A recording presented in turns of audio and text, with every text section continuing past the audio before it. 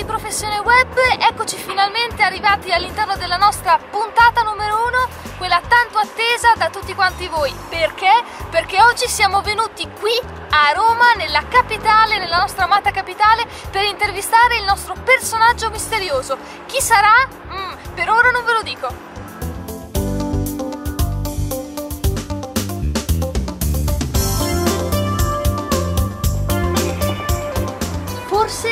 L'abbiamo trovato. A questo punto andiamo a vedere se il citofono ci può essere d'aiuto. Oh, oh, oh, finalmente ci siamo arrivati. Perché dico finalmente? Perché Sara Canducci è stata così brava, così furba, così intelligente che non ha chiesto al proprio personaggio famoso a che piano doveva andare. Quindi mi sono fatta le scale su e giù, se non altro posso dire di aver fatto un po' di ginnastica. Mm-hmm. Allora, qui, come ho detto adesso, c'è il nostro personaggio misterioso. Chi sarà? Chi sarà? Chi sarà? Chi sarà? Andiamo a suonare.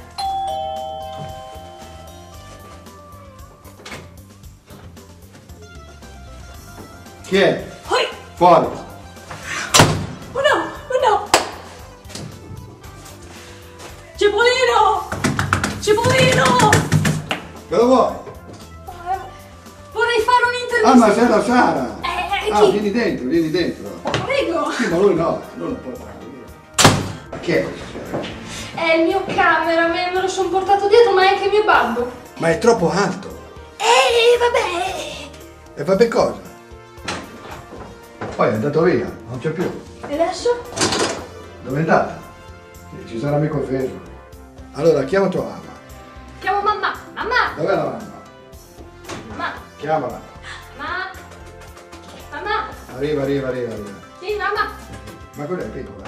Eh sì, è la metà di me! Eh, allora va bene. Andiamo. Ciao a tutti ragazzi e benvenuti, Ciao ragazzi. e benvenuti all'interno della prima puntata di Professione Web. Finalmente. Eh sì, perché dice finalmente anche il nostro Massimo? Perché sono settimane che, stia- che stiamo attendendo di cominciare queste riprese con il nostro personaggio misterioso. Beh, più che settimane sono mesi che ci frequentiamo noi, non eh, virtualmente, però insomma è una frequentazione, una conoscenza che dura da quanto tempo? Da quasi due anni. Ecco, eh, cosa grande. Quasi, quasi due anni. E questa signorina Sara sta facendo dei grandi progressi. Ed è per questo che ho accettato di parlare con lei, ho accettato di parlare con voi anche perché siamo un po' avanti nella tecnologia, bisogna cercare di aprirsi un po' nuove, alla nuova comunicazione, a qualcosa che vada incontro ai giovani. E siccome io mi sento ancora come se fossi un bambino, come se fossi un ragazzo, perciò sono curioso di tutte queste novità, tutto questi, queste, questo, questo futuro, questo nuovo secolo come è iniziato. È iniziato all'insegna della tecnologia. Allora, vediamo, voglio vedere dove, dove vuole arrivare con la tecnologia. Eh beh, può arrivare molto in là Massimo, anche perché può arrivare persino a offrire un lavoro soprattutto ai giovani e sappiamo che di questi tempi il lavoro non è facile da trovare. No, assolutissimamente. Io ho mia figlia Manuela che ha appena costruito in questi giorni un, un piccolo blog, però è sulla cucina, sui dolci, in special modo, si chiama Ma- Manuela Boldi e proprio allora ogni tanto mi, mi manda queste sue nuove eh, progetti, per il momento sono solamente abbozzati, però insomma si, si stanno ingegnando anche loro, insomma si vede che il lavoro è il futuro. insomma. E la seguiremo ovviamente. Eh, certo. È su Twitter? Sì, sì, sì, è su Twitter, la mano è chiamata. La mano, quindi seguitela e continuiamo a guardare anche i progressi di questa nuova, nuova signora Boldi. Signora Boldi, sì. La signora Boldi. Molto bene, allora torniamo a parlare di professione web. Abbiamo detto che eh, nasce per dare consigli ai giovani e meno giovani che hanno voglia di intraprendere una professione attraverso il web. Come facciamo? Andremo ad intervistare tutti i personaggi che hanno comunque trovato un lavoro attraverso il web o che comunque hanno trovato un modo per arrotondare a fine mese. Una domanda. Eh. Oh, ma col web ci sono i sindacati o, o non ci sono? Eh, la, cosa... la cosa bella e brutta del web, ecco perché serve è, uno è, spirito è, diverso. È, una giungla ancora. è una giungla, sai... Bisogna eh... essere, sei tra i pionieri. Beh, bravo, bravo, bravo. Eh, diciamo, la cosa bella e brutta del web, dopo va in base al che carattere. Può succedere di tutto. Sì, assolutamente, ma bisogna essere imprenditori di se stessi. Esatto. Cosa molto importante. Quindi può, se una persona ha del talento, quindi magari riesce a dare un prodotto al pubblico, ecco il web è il modo migliore per riuscire a offrirlo nel migliore dei modi e prendere un'ampia clientela. Tant'è vero che, eh, correggimi se sbaglio, oggi i nuovi talenti, anche per quanto riguarda radio, televisione, cinema, vengono vengono web. anche da lì. Anche da lì. Anche da lì. Io ad esempio ho dato l'opportunità ad un talento del web che è Guglielmo Scilla di fare un film con me che era Matrimonio a Parigi e, e poi credo che abbia fatto altri film eh, con meno successo perché poi probabilmente non è quello che vuole fare lui, forse vuole fare un altro lavoro. Però ha avuto un'opportunità che se l'è subito presa e credo che gli abbia portato sicuramente bene. Questo è quanto. E quindi io ti faccio una domanda. Cosa serve per essere notati? Guarda, per essere notati bisogna essere originali, bisogna avere quella, quel qualcosa che altri non hanno, perché diventa, sembra, sembra facile cercare di, di, di, di, imporsi al pubblico con un, con un personaggio in effetti, almeno quello che riguarda il sottoscritto, eh, il pubblico recepisce quello che veramente sei, come sei, chi, quello che sei e cosa fai. Uno ha una dote, ha un talento nascosto, l'altro ce l'ha meno, o quello che non ce l'ha per niente. Tant'è vero che vedi anche questi talent show che vengono fatti con le televisioni, eh, si fa tanto rumore, si fa tanto spettacolo, ma proprio quello che poi alla fine ne esca uno in un modo è importante è molto difficile. Soprattutto, che cosa succede? È un discorso abbastanza lungo, io l'ho fatto anche eh, a degli studenti questo discorso nelle, nelle scuole. Che cosa succede? Succede che un artista quando inizierà a far guadagnare un qualche cosa che gira intorno a questo ambiente, allora comincia a essere supportato, comincia ad avere la credibilità e dalla credibilità piano piano si fa una carriera. Se eh, il presunto artista eh, non riesce a superare questo, questo, gradino, è un po' più difficile che, che, che si affermi, molto complicato. Quindi il tuo consiglio è comunque quello, se ho capito bene, di continuare a essere se stessi, cioè non cercare di essere quello che non sei. Perché in qualche modo il pubblico lo recepisce. No, hai voglia. Io non so, ad esempio ho visto tante tue imitazioni che tu hai fatto, eccetera. Ecco, vedi, quello è già un talento che nessuno ti ha insegnato a fare quello che tu fai, giusto? Esatto, viene da... Viene, viene perché ce l'hai, perché ce l'hai. Poi può piacere o non piacere, per l'amore di Dio, però bisogna ammirare la forza di volontà e non solamente quella, ma il, il fatto che tu ti, ti, ti sia messo nelle condizioni di inventarti un personaggio, anche imitandolo, quello che vuoi, ma insomma il talento dopo, se, se, se quello sarà il tuo lavoro futuro, sicuramente hai già cominciato a tracciarlo.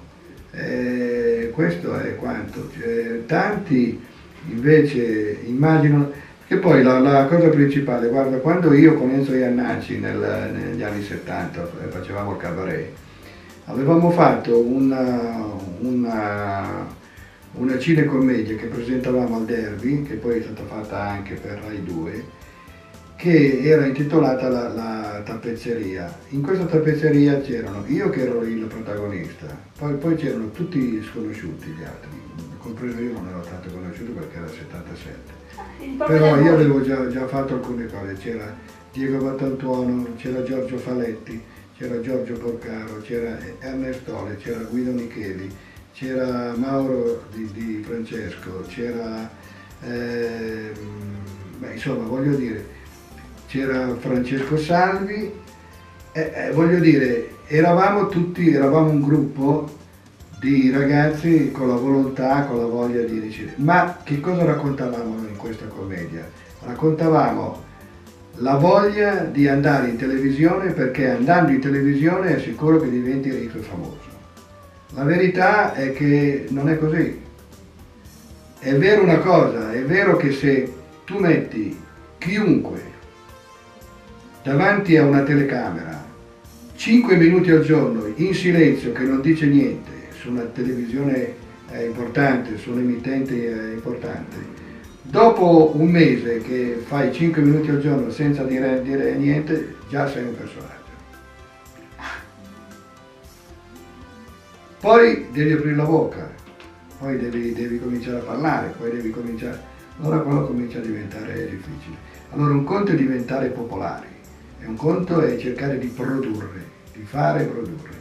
Il talento viene perché ce l'hai e viene espresso solo quando viene recepito dal grande pubblico e il pubblico riesce poi a seguirti e questo crea un, un, eh, produttività e crea eh, un giro molto eh, importante che ti fa crescere non solamente te ma anche tutto quello che gira intorno. E questo è un discorso molto importante che comunque eh, si ricollega un, a un, concetto che ho sempre espresso io personalmente, ovvero che il talento non si insegna, cioè nel senso che spesso si chiede come si fa a diventare comico, come si fa a diventare cabarettista. E non, è, non può esistere scuola e non potrà esistere mai, perché avviene istintivo. Se non sei capace di imitare, non sarai mai capace. Ti viene da dentro, viene sperimentando ovviamente, eh, però io chiedo, chiedo, conferma a una persona che ha fatto della comicità il suo lavoro, quindi io chiedo conferma. Eh, però vedi, se devo essere sincero, io quando facevo le scuole elementari, quando andavo all'asilo, io già facevo ridere i miei compagni. Così non è che lo facevo perché, perché, perché sono così.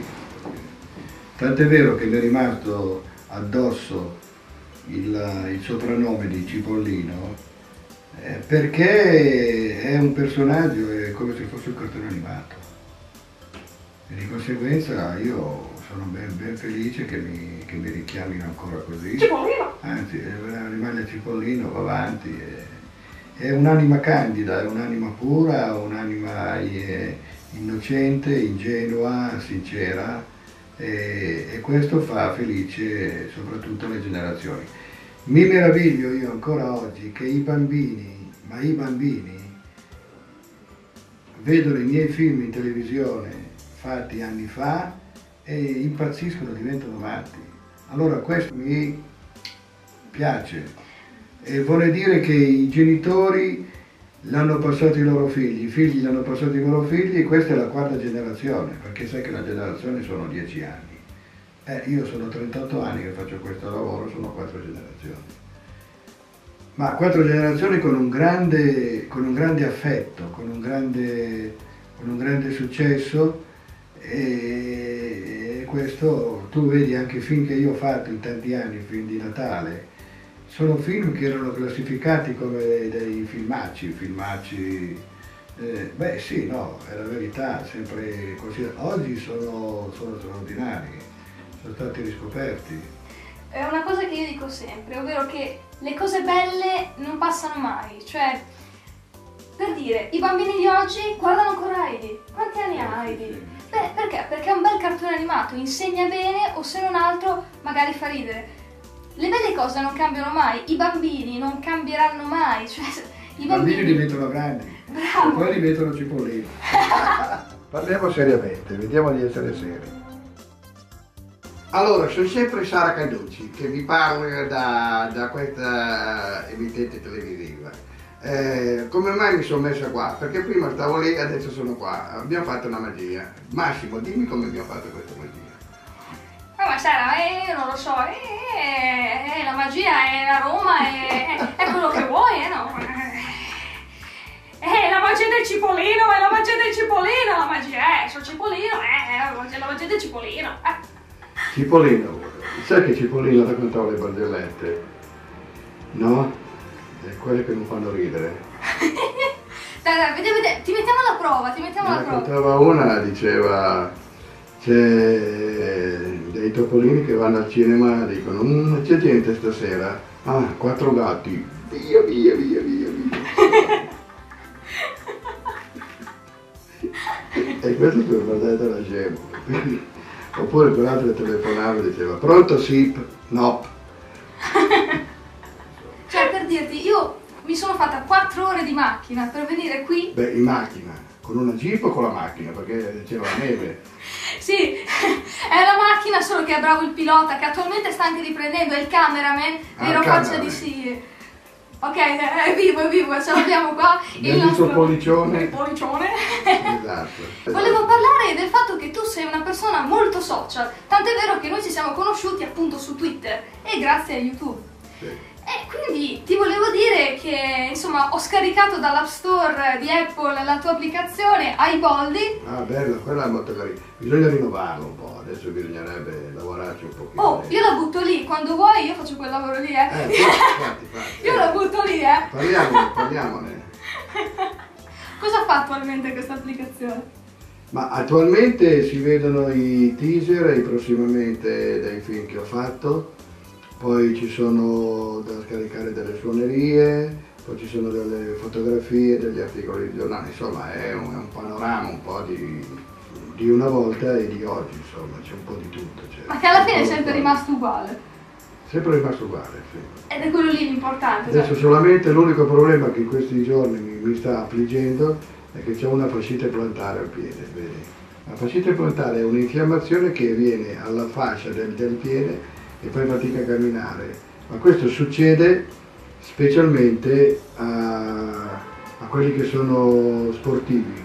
Io non faccio nessuno sport, Però, però suono la batteria. ecco, Eh, suonando la batteria, tum tum tum tum tum tum tum, si è infiammato il parasgnaus e di conseguenza adesso sono sotto cuore, vabbè. di conseguenza che dolor house. Però è molto dolore, ah che dolore, Ah, che dolore dolore. terribile.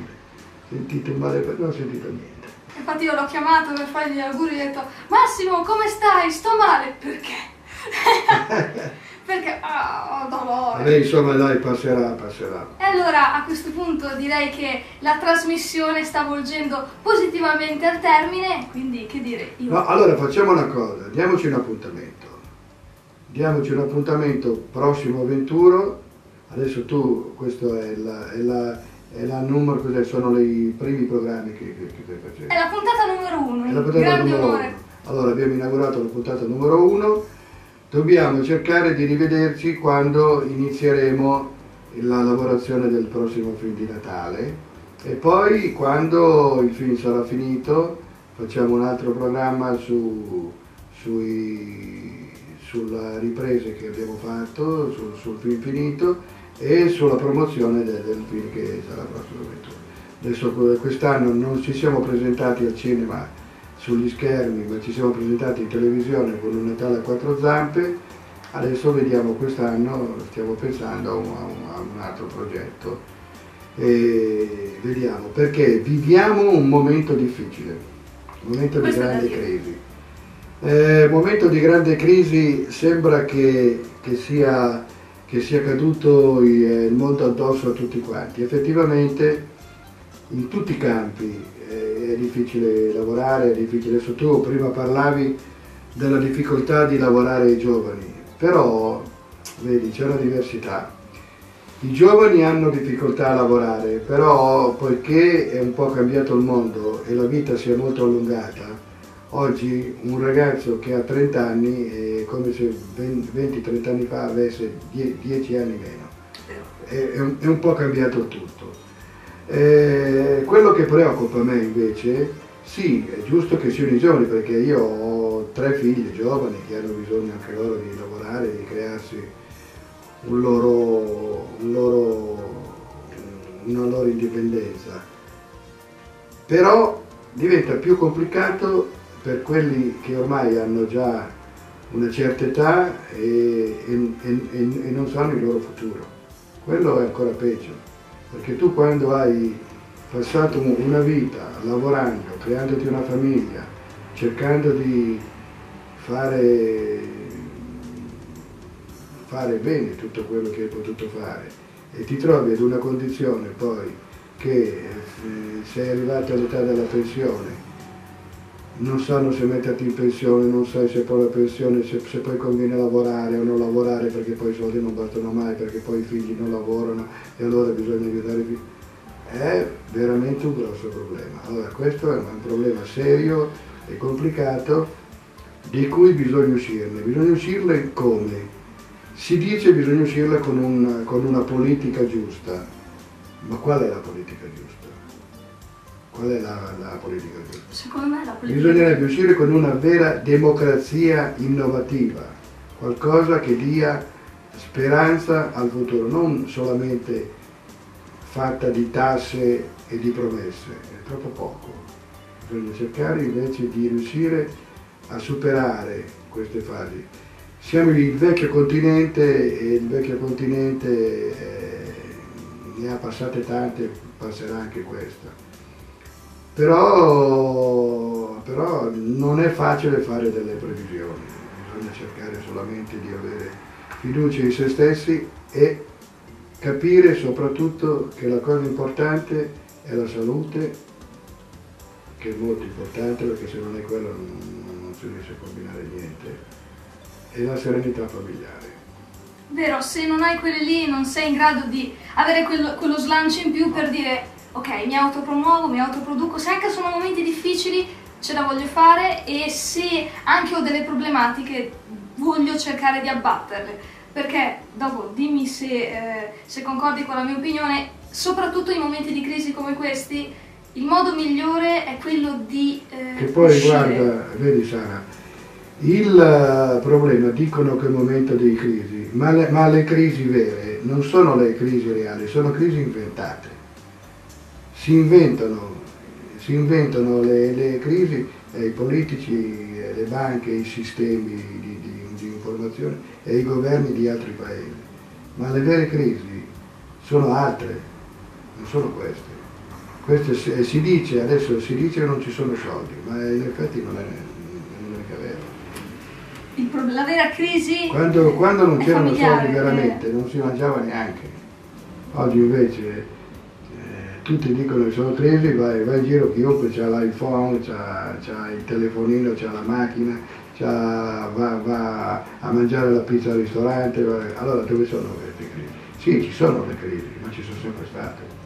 Problemi, insomma è un, un po' complesso, però abbiamo affrontato anche questo problema e comunque io ti auguro di avere quello che meriti nel tuo futuro e per questo Cipollino ti sarà comunque vicino in ogni momento. Cipollino ti sarà vicino. Va bene Massimo, io non so come ringraziarti Guarda. per aver fatto da padrino, da ospite speciale e misterioso fino ad oggi per Professione Web e speriamo anche di rivederci più avanti quando... No, ma, ma promesso lo facciamo. Pro promesso, eh? È promesso, eh? Promesso, eh? Così sia scritto, così sia fatto, come dicevano i faraoni di una volta. Osteria. Detto questo ragazzi, io, Sara Canducci e il nostro Cipollino vi salutiamo, vi diamo appuntamento a, al prossimo, alla puntata numero 2. La puntata numero 2 però ci sei, sei con un'altra, con un'altra. Eh sì. Va bene. Ciao. Ciao ragazzi.